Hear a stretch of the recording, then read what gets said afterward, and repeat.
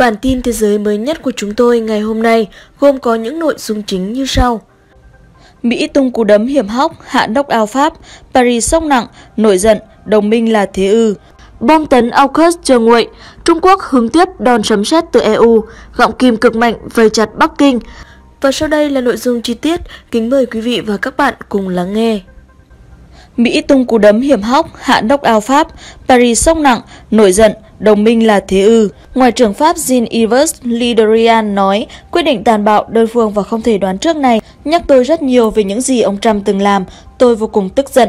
Rạng sáng ngày 16 tháng 9 năm 2021, truyền thông đưa tin Anh, Mỹ đã bắt tay với Australia để đóng tàu ngầm hạt nhân. Theo đó, Mỹ và Anh sẽ cung cấp công nghệ và các điều kiện cần thiết để triển khai đóng các tàu ngầm chạy bằng năng lượng hạt nhân tại Adelaide. Sự kiện gây chấn động này khiến giới truyền thông thế giới sụp sôi bởi thỏa thuận tàu ngầm trị giá 40 tỷ USD do Pháp thiết kế chính thức tan thành mây khói. Trước đó vào năm 2016, Pháp và Australia đã đạt được thỏa thuận liên chính phủ để cung cấp 12 chiếc tàu ngầm thế hệ mới nhằm thay thế các tàu ngầm lớp Collins đã hơn 20 tuổi của họ.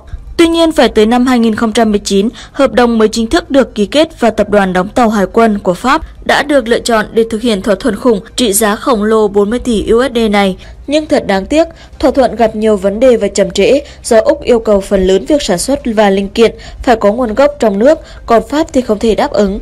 Theo điều khoản hợp đồng, Pháp sẽ cung cấp cho Australia 12 chiếc tàu ngầm tấn công Shortfin Barracuda Block 1A phiên bản diesel điện của lớp tàu ngầm tấn công hạt nhân Barracuda. Dự kiến chiếc đầu tiên sẽ bắt đầu khởi đóng vào năm 2023. Tại thời điểm hợp đồng bị hủy bỏ, có lẽ các bên mới chỉ đang thỏa thuận về cấu hình vũ khí, bản vẽ thiết kế chứ chưa kịp đặt mua vật liệu, cũng như các công việc tại thực địa để triển khai đóng mới các tàu ngầm này. Tổn thất lớn nhất với Pháp không phải chỉ là tiền, mà là danh tiếng. Sự đổ vỡ này không gì có thể bù đắp nổi. Có lẽ đoán trước được phản ứng của Paris. Trong lễ công bố thỏa thuận đóng tàu ngầm hạt nhân cho Australia hôm 16 tháng 9 giờ Việt Nam, Tổng thống Mỹ Joe Biden khẳng định Pháp vẫn là đối tác quan trọng trong khu vực Ấn Độ Dương-Thái Bình Dương. Bộ trưởng Quốc phòng Anh Ben Willett cho biết ông hiểu sự thất vọng của Pháp với Australia về vụ bể hợp đồng, nhưng ông cho rằng thỏa thuận giữa Anh, Mỹ và Australia không phải là sự phản bội với Pháp vì thỏa thuận của Pháp với Australia đã bị hủy. Ông cho biết ngành công nghiệp quốc phòng của Anh sẽ được thúc đẩy từ thỏa thuận đóng tàu ngầm hạt nhân mới với Australia, đồng thời cho biết Anh có những hệ thống phụ mà Australia không có.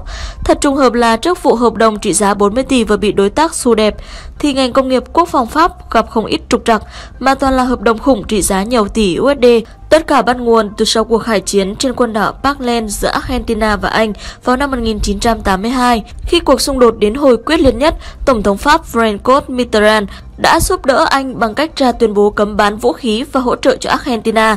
Đặc biệt Pháp còn cung cấp cho London những thông tin chi tiết về máy bay và vũ khí mà Pháp đã bán cho chính quyền Buenos Aires. Paris cũng nỗ lực hợp tác với London để Argentina không thể mua thêm tên lửa Essoket trên thị trường vũ khí thế giới. Cuối cùng Argentina đã bị thất bại cay đắng. Nói là cay đắng bởi vì hầu như các chuyên gia quân sự, giới quan sát trên thế giới đều cho rằng nếu như có đủ tên lửa Essoket thì Hải quân Hoàng gia Anh sẽ ôm hận. Tất nhiên cũng khó tránh được Pháp vì không có kẻ thù vĩnh viễn, chỉ có lợi ích là vĩnh viễn. Họ buộc phải lựa chọn ủng hộ Anh trong tình huống đó.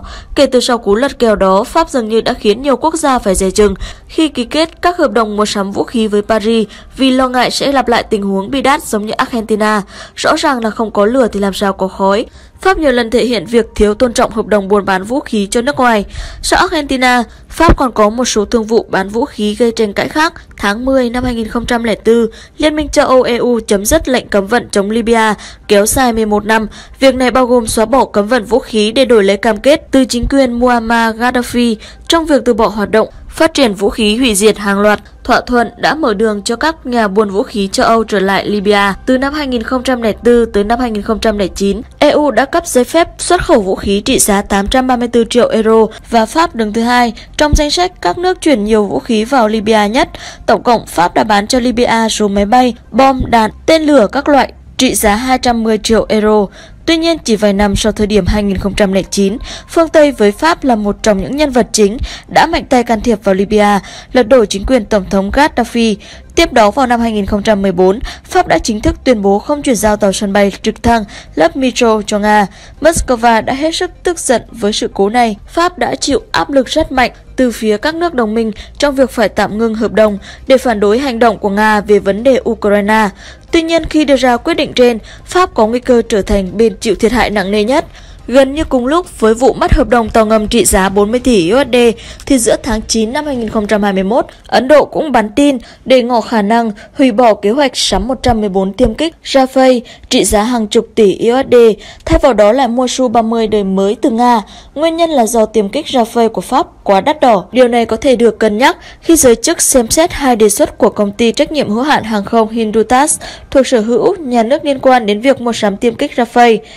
Hindutas đề nghị xây dựng 3 phi đội Su-30 có khả năng mang phóng tên lửa hành trình BrahMos với mức giá chỉ bằng 1 phần 3 số tiền dự kiến khi mua Rafale. Sau đó Hindutas đề xuất nâng cấp phi đội Sukhoi hiện có với các thiết bị điện tử hàng không hiện đại hơn, đặt tên cho dòng máy bay mới là Super Sukhoi.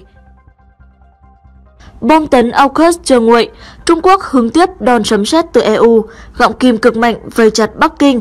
Liên minh châu Âu EU ngày 16 tháng 9 đề ra chiến lược chính thức nhằm tăng cường sự hiện diện ở khu vực Ấn Độ Dương, Thái Bình Dương và chống lại sức mạnh đang trỗi dậy của Trung Quốc. Theo Reuters, động thái mới diễn ra trong bối cảnh quan hệ Pháp-Australia trở nên phức tạp sau khi hợp đồng trị giá hơn 56 tỷ USD. Theo đó, Pháp sẽ chế tạo cho Australia 12 tàu ngầm tấn công, tan tành mây khói bởi việc thành lập Liên minh AUKUS giữa Mỹ, Australia và Anh hồi giữa tuần qua, chiến lược của EU nhằm vào Trung Quốc. Trong chiến lược mới về Ấn Độ Dương-Thái Bình Dương, EU đã đề ra trọng tâm trong hàng loạt lĩnh vực quan trọng.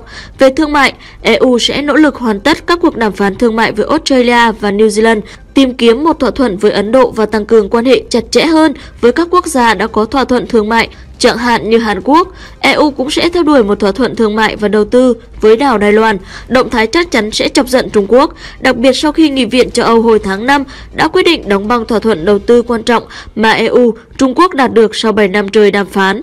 Trong vấn đề biến đổi khí hậu, EU đặt mục tiêu hỗ trợ quá trình chuyển đổi sang năng lượng xanh ở khu vực Ấn Độ Dương-Thái Bình Dương, ưu tiên sử dụng hydro tái tạo. Ở trọng tâm về vấn đề hàng hải, EU hứa hẹn một sự hiện diện ngoại giao lớn hơn hướng tới mục đích giúp duy trì Công ước Liên Hợp Quốc về luật biển nhằm ngăn chặn đánh bắt quá mức trong khu vực, cung cấp chuyên môn trong việc bảo vệ các khu vực biển, dự báo thời tiết và hạn chế ô nhiễm biển. Trong lĩnh vực số hóa, EU muốn bắt đầu đàm phán với Nhật Bản, Hàn Quốc và Singapore về hợp tác sâu hơn về luồng dữ liệu, đổi mới dựa trên dữ liệu và thúc đẩy hơn nữa thương mại kỹ thuật số. EU cũng muốn hợp tác chặt chẽ hơn với Ấn Độ về các công nghệ mới nổi như trí tuệ nhân tạo và mạng di động thế hệ thứ năm.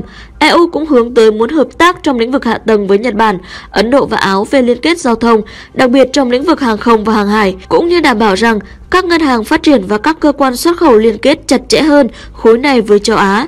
EU ngày 15 tháng 9 đã đưa ra một kế hoạch mới để cạnh tranh với sáng kiến cơ sở hạ tầng vành đai con đường của Trung Quốc mà họ gọi là cửa ngõ toàn cầu. Về an ninh và quốc phòng, EU, khối thương mại lớn nhất thế giới, sẽ tìm kiếm một mối quan hệ hàng hải chặt chẽ hơn với Australia, New Zealand, Indonesia và Nhật Bản, hứa hẹn nhiều chuyến triển khai hải quân hơn để tuần tra các tuyến đường thương mại khu vực mà Trung Quốc đang bành trướng tham vọng kiểm soát. Khối này cũng đang cử cố vấn quân sự phục vụ các phái đoàn EU trong khu vực. Bên cạnh đó, EU cho biết muốn giúp các nước nghèo hơn ở Ấn Độ Dương-Thái Bình Dương tiếp cận với vaccine COVID-19. EU cũng muốn phát triển hợp tác để đảm bảo đường cung cấp thuốc và thiết bị y tế, giảm sự phụ thuộc vào Trung Quốc.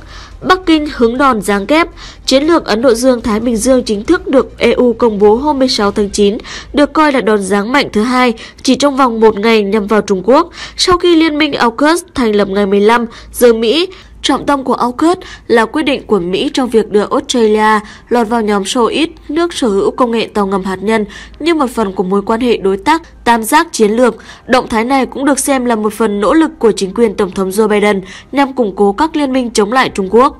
AUKUS có sự góp mặt của anh cũng sẽ liên quan đến sự hợp tác chặt chẽ hơn trong lĩnh vực an ninh mạng Phát ngôn viên Bộ Ngoại giao Trung Quốc Triệu Lập Kiên phản ứng bằng tuyên bố rằng việc hình thành bè phái khép kín và riêng biệt nhằm vào các nước khác sẽ không được ủng hộ và chắc chắn thất bại.